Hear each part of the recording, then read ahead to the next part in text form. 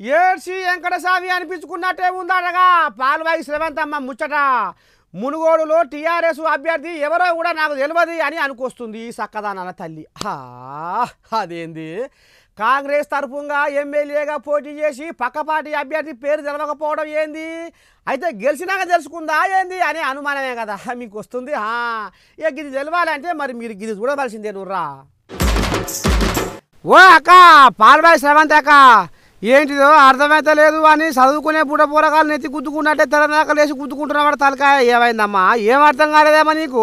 నాకు ఇంకొక విషయం అయితే ఈ ఎన్నికల్లో అర్థం కానిది ఏంటంటే నాకు టీఆర్ఎస్ అభ్యర్థి ఎవరో అర్థం కాలే. నాకు ఇంకొక విషయం అయితే ఈ ఎన్నికల్లో అర్థం కానిది ఏంటంటే నాకు టీఆర్ఎస్ అభ్యర్థి ఎవరో అర్థం కాలే. అరే రే రే రే శ్రవంత్ అక్క ఇంత కొడితే గింతేనా నీ తెలివి? ఎందుకు అక్క ఎందుకు అర్థం కాలే మరి? ఎందుకంటే ఒక్క రోజు కూడా టీఆర్ఎస్ అభ్యర్థి నామినేషన్ రోజు తప్పించి నాకు ఎక్కడా శబాష్ మరి ఎవరు కనబడ్డారాక నీకు? నాకు కేవలం కనపడ్డది అటు మంత్రి జగదీశ్వర్ రెడ్డి గారు హరీష్ రావు గారు కేటీఆర్ గారు కనపడ్డారు కానీ నాకు అర్థం కాలే మరి అభ్యర్థి ఎవరో అని. ఇంటూ రా జనాలు శ్రవంత్ అక్క ఎంత తెలివి కలదో. అయితే అక్క అన్నట్టు టీఆర్ఎస్ పెద్ద తలకాయను కూసుకుంటా ప్రభాకర్ పటేల్కు ఏ దిష్టి తగలకుండా ఎవ్వరికి కనబడకుండా దాచిపెట్టొచ్చునా? అక్క మాట్లాడే మాటలు ఇంటే అట్టనే అనిపిస్తుంది నాకైతే. కదా అనురా? పాపం.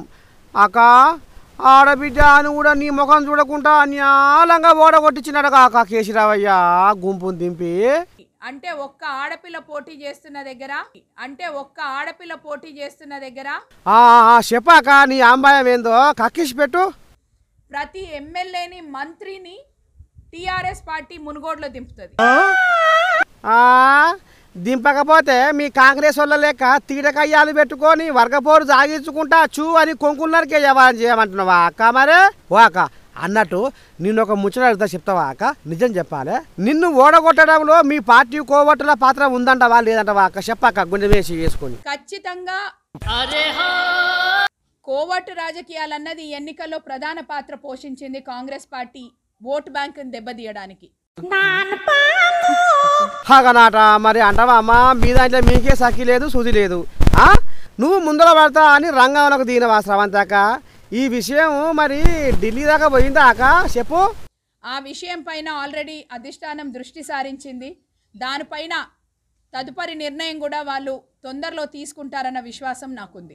ఏమో పోక ఏట్లో పడ్డవానికి ఎన్నో ఎన్నికలు అన్నట్టు మీ కాంగ్రెస్లో కూడా గిస వంటి కథలు నడుస్తున్నాయి కాబట్టి మీ కాంగ్రెస్ పార్టీ సాగు బతుకుల్లో కొట్టుకుంటుందని మొత్తుకుంటున్నారు అక్క ఊర్లో పంటి జనాలు పాపం.